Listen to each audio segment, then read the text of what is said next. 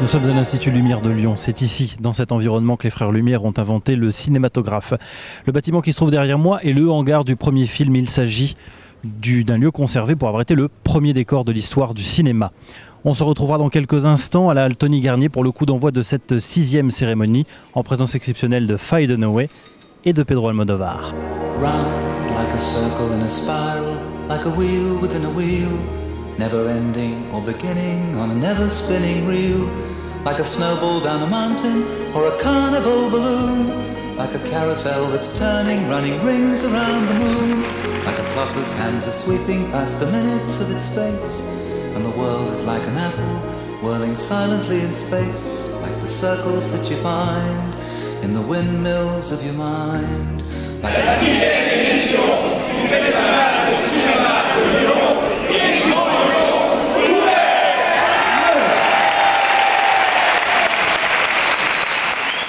Ce, festival se démarque vraiment, c'est un vrai, festival de cinophiles, une ouverture internationale, Tarantino l'année dernière, Pedro Almodovar mis à l'honneur cette année. Ça symbolise quoi aussi dans l'ouverture du cinéma? Mais écoutez, je crois qu'encore une fois, vous avez tout dit. Vous faites les questions. Mes questions sont trop longues Mais c'est ça, mais vous faites les réponses en même temps dans la question. C'est incroyable. J'ai envie de dire euh, la réponse dans la question, monsieur le mag. Non, mais c'est vrai, voilà, ça symbolise une ouverture vers l'extérieur, le cinéma international.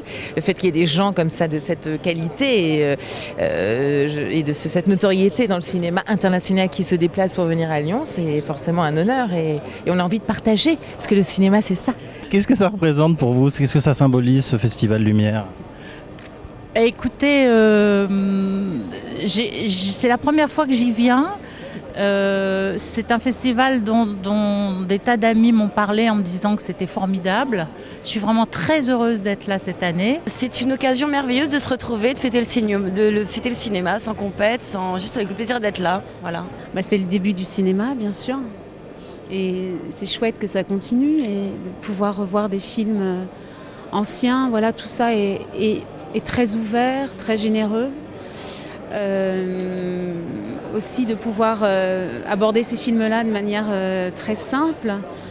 Il n'y a pas du tout de, de barrière de représentation, de choses comme ça. On est vraiment dans, dans le cinéma, dans le réel. On se replonge au cœur du cinéma, un vrai festival de cinéphiles, j'ai envie de dire. Oui, tout à fait. Enfin, en tout cas, les gens qui aiment le cinéma ou peut-être les futurs cinéphiles. Je suis, vraiment très heureux puisque l'année dernière j'avais la chance de venir pour la première fois, euh, il y avait Qu- Quentin Tarantino et c'est vrai quand j'étais rentré à Paris je disais à tout le monde mais il faut vivre ce festival euh, parce que c'est vraiment un, bain de jouvence, de passion, on, sait pourquoi on fait ce métier quand on, sort de ce festival. Bah écoutez, c'est euh, c'est intéressant de, de- que la ville de Lyon et Lyon et en tout cas la France rendent hommage à des grands artistes comme cela. Et- et pour moi, c'est bien de participer à la fête du cinéma et de célébrer le cinéma du monde entier.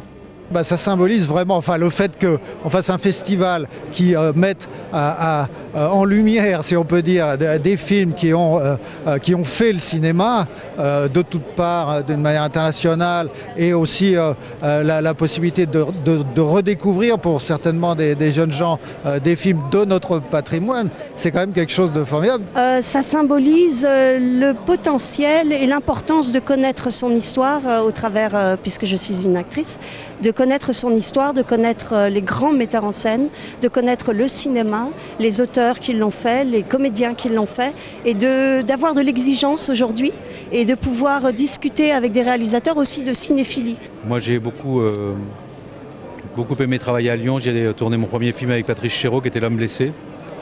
Je suis. c'est aussi la ville où mes parents se sont rencontrés, voyez. Donc, en fait, j'ai plein de raisons euh, d'être heureux d'être ici. Thierry Frémaux, il a réussi une chose extraordinaire. C'est justement c'est qu'il n'a mis aucun cinéma dans les cases. Il n'y a pas de cinéma d'auteur, il n'y a pas de cinéma intellectuel, il n'y a pas de cinéma populaire, euh, dramatique, polar. Le cinéma, c'est le cinéma. Ce moment-là, c'est un truc particulier. Et, euh, et Thierry Frémaux, il n'a pas hiérarchisé qui est dans la tendance, la mode ou pas la mode. Les gens qui font du cinéma, ce sont, sont les gens qui font du cinéma. Oh, yes. Yeah, very, very important. And he has made it even more so. But um, it's something that I've always wanted to come to, and, and this is one of the great highlights of my life and my career. So I'm grateful to him for making it possible. No, thank you. Thank you. Thank you. Thank you very much.